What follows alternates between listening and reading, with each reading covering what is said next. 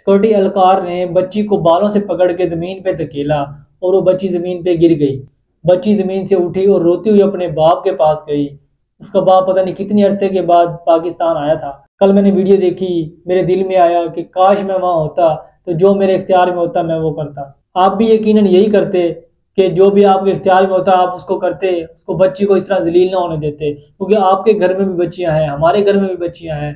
وہ بچی اپنے ابو کے گلے لگ کے رو رہی ہے اور اپنے ابو کو کہہ رہی ہے کہ ابو مجھے اس کوٹی نے بالوں سے پکڑ کے زمین میں پھینکا ہے، اس کا باپ بیچارہ بے بس کیا کر سکتا تھا؟ اس ملک میں قانون بھی اس کے لیے ہے کہ جس کے پاس طاقت ہے، یا جس کے پاس بہت سارے لوگ ہیں، یا جس کے پاس پیسہ ہے، اس کے لیے قانون ہے، اس کے لیے انصاف ہے، باقی لوگوں کے لیے نہیں۔ وہ باپ بیچارہ اپنی بیٹی کو چھپ کر کے لے جاتا ہے۔ یہ ویڈیو پورے پاکستان میں وائرل ہو چکی ہے۔ ایئرپورٹ سکورٹی والے روکتے ہیں، ان کا کام ہے، لیکن ان کا یہ کام نہیں ہے کہ بچوں کو پکڑ کے پٹک دیں۔